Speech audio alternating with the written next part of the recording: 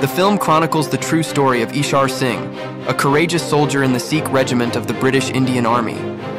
Taking place in 1897, a period when Indian troops were subject to British colonial rule, the narrative unfolds at Gulistan Fort, positioned on the border between British controlled Indian territory and Afghanistan. One afternoon, Ishar and his comrades are on border patrol when they hear the distressed cries of a woman. On the opposing side of the border, a contingent of Afghan tribesmen is poised to execute a married woman who resists accepting the spouse chosen for her by family without her consent. The leader of this group is Saidullah, a self-proclaimed prophet who arrogates to himself the responsibility of executing the hapless woman.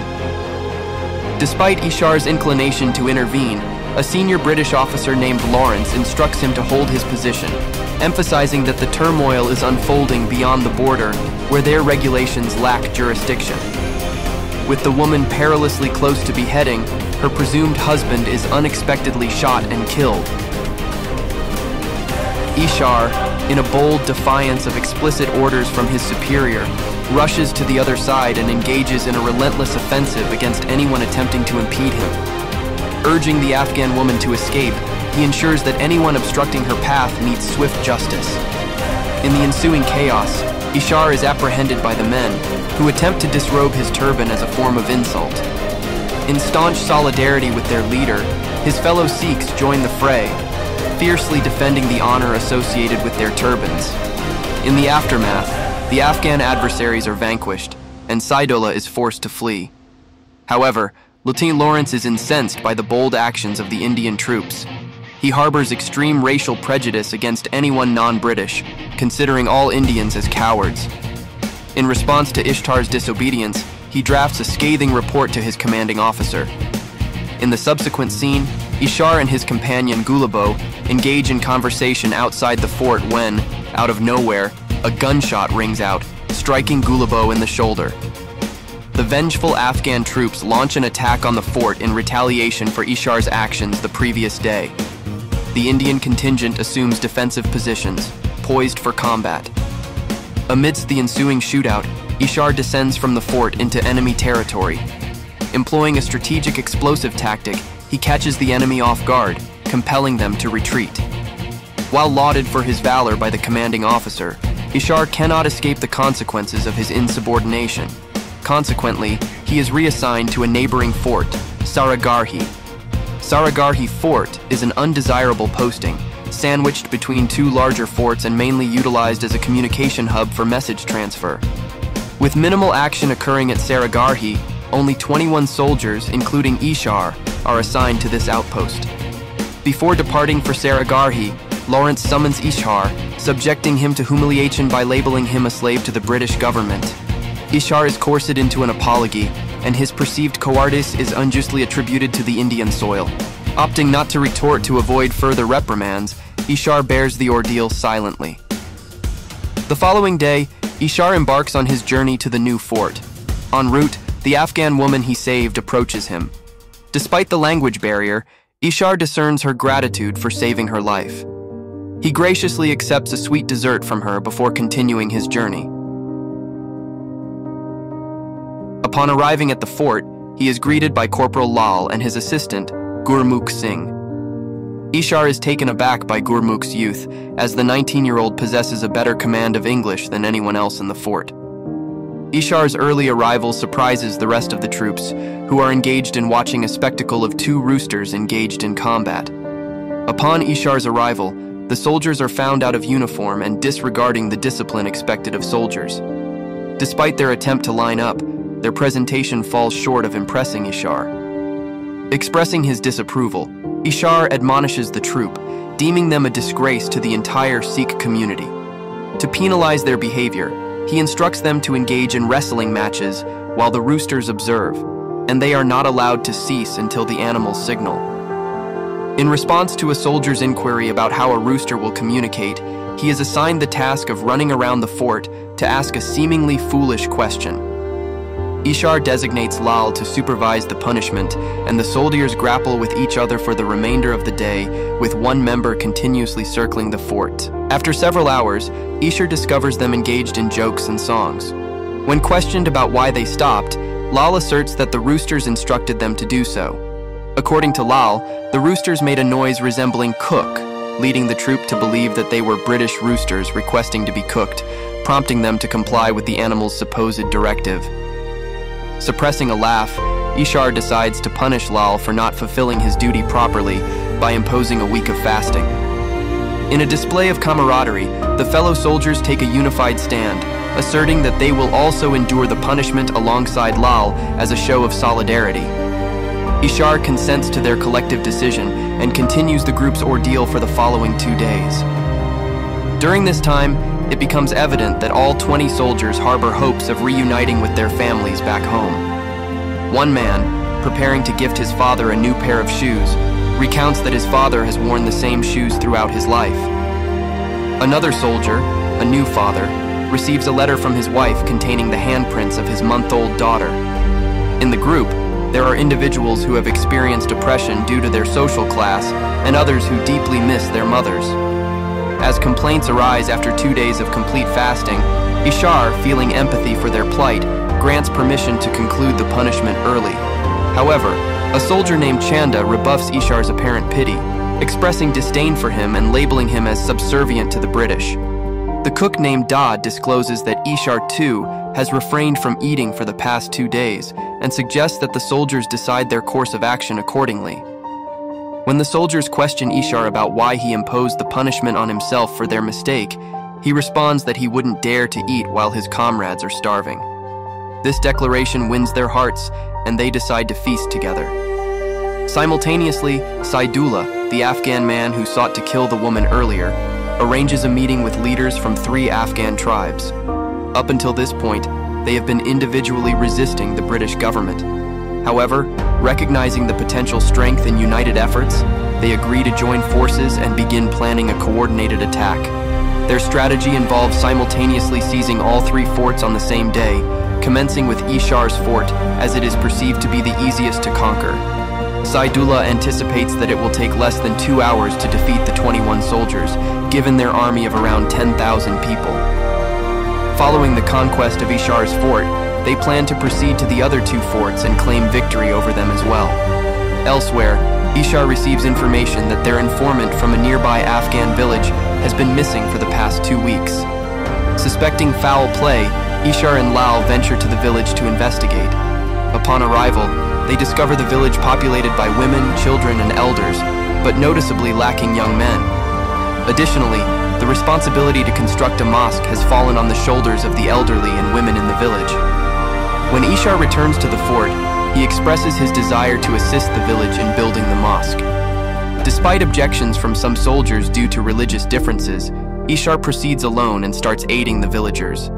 At midday, a child is almost crushed by a falling ceiling, and Ishar, in turn, is rescued by his comrades who arrive to help.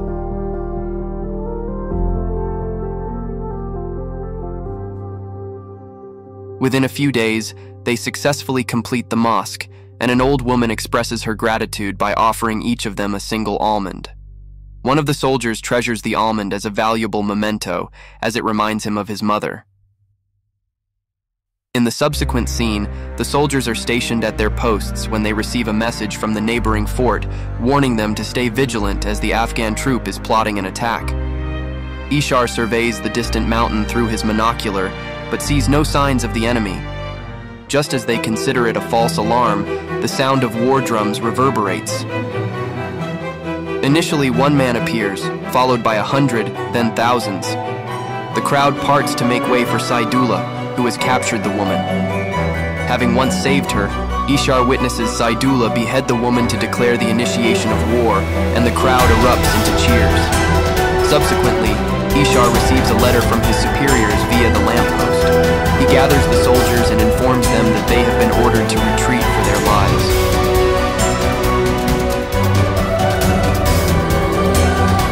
A loud laugh interrupts Ishar as the soldier known for never smiling bursts out in front of everyone. The soldiers find it amusing that the British believe the Sikhs will run away like cowards. While Ishar understands their sentiment, he asks them to reconsider because choosing to fight would mean certain death. Chanda, who never liked Ishar, believes he is trying to undermine their spirit and is afraid to enter the battlefield. In response, Ishar enters a room and emerges wearing a saffron turban, a symbol of courage. He plays the war drum, kills the first enemy, and initiates the battle. Everyone prepares at their posts, except for the confused 19-year-old Gurmukh. He asks Ishar why he lied to the troop, claiming that the superiors wanted them to retreat when the actual orders were to fight. Ishar reveals that by giving the soldiers a choice, it is proven that they are not cowards, as Lawrence once said. He then instructs the cook to provide water to everyone, including the injured enemies.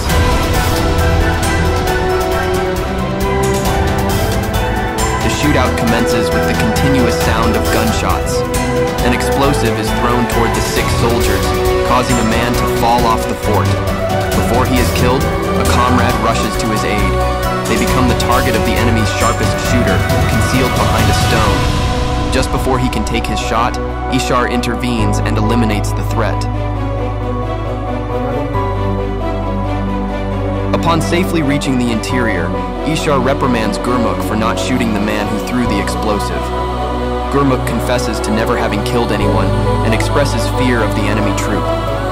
Without further delay, Ishar assigns him to lamppost duty tasked with providing continuous updates to the other forts. Returning to his position, Ishar notices the enemy troops starting to retreat. Saidullah and the tribe leaders approach with a white flag, requesting a conversation. During the meeting of the leaders, Ishar immediately recognizes Saidullah and questions whether he is willing to put his life at risk or if he is only adept at harming helpless women. While the tribe leaders remain composed, Saidullah seethes in rage vowing to step on Ishar's turban later that day. Two Sikh soldiers hand over two Afghan prisoners who were captured earlier. Ishar asserts that they do not harm those who surrender. However, it becomes apparent that the prisoners are a ploy. Upon removing a cloth from their faces, an explosion occurs, claiming the lives of several Afghan soldiers. The skirmish persists, and at this point, the adversaries have reached the outer walls of the fort. Another soldier succumbs to a gunshot, while the Afghans commence banging on the fort's door. Three soldiers are dispatched to prevent the door from being breached. Simultaneously, Ishar directs his attention to the sharpshooter responsible for killing the soldier. He attaches his monocle to the rifle, refining his aim, and eliminates the man with a precise shot. In the lower quarters, the soldiers bide their time until the enemy exhausts their ammunition and launches an assault. Despite successfully eliminating many adversaries, more enemies continue to arrive. Abruptly, a soldier named Bola is shot. In the final moments of his life, Bola expresses contentment, believing that death equalizes everyone, erasing the distinctions of caste. His comrades attempt to staunch his bleeding, with one even offering his turban to cover the wound, but Bola succumbs. Facing ammunition depletion, the soldiers devise a new strategy to halt the advancing foes. They open the door, feigning surrender before launching a surprise attack on the group outside. Despite being outnumbered, they exhibit immense courage, inflicting significant casualties. In his dying moments, Lal instructs the sole surviving soldier to retreat inside and secure the door. Following his orders, the soldier, heavily injured, complies. Before succumbing, he sits beside Bola's lifeless body and recounts a joke he had once disliked. Outside, Lal breathes his last while gazing at a picture of his daughter's handprint. Meanwhile, a heap of lifeless bodies accumulates beneath the fort's wall. The Afghan assailants utilize the corpses and ropes to scale the fort. Initially, the first few invaders are repelled, but as more ascend, the tide turns, resulting in the demise of the last comrade who sacrifices himself, taking several Afghans down with an explosive before his own demise. Now, only Ishar, Gurmukh, and Chada remain from the original 21 soldiers. Ishar commands them to remain on the upper floor at the lamppost, while he confronts the entire opposing army alone. The enemy breaches the fort, welcomed by their leader, the initial attacker is swiftly dispatched with a stomach slash, triggering a frenzied onslaught. Ishar valiantly fights amid a swarm of adversaries, exhibiting beastly resilience for several minutes.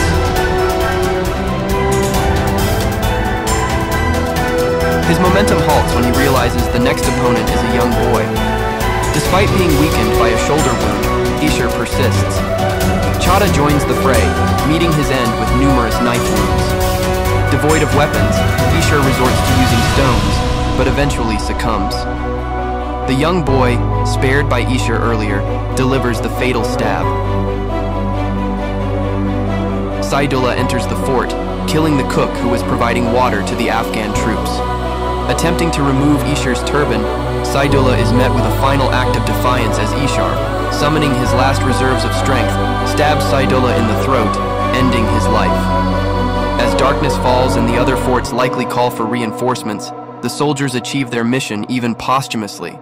A tribal leader, impressed by Ishar's bravery, cautions everyone to avoid his turban. Departing, he leaves the scene, but the second leader desires to hear a Sikh cry in pain. They set fire to the lamppost, anticipating Gurmukh, the sole survivor, to break down. Contrary to expectations, the courageous teenager charges outside, echoing the war cry of the Sikhs. In a final act of defiance, Gurmukh seizes the tribal leader, setting off the grenades attached to his body. The ensuing explosion claims numerous lives. Subsequently, the surviving Afghans plunder the fort, setting it ablaze. Despite the tragedy, the British Parliament posthumously honors the martyrs with the British Order of Merit, the highest accolade an Indian soldier could attain. Today, in commemoration of the brave soldiers, two gurdwaras are erected, becoming enduring sites visited by numerous tourists each year. Hope you enjoy the story of these brave Indian soldiers. I apologize for any mispronunciation or lack of the correct accent when referring to these courageous individuals. Be proud to be Indian. Do subscribe to get more video like this. Thanks for your time.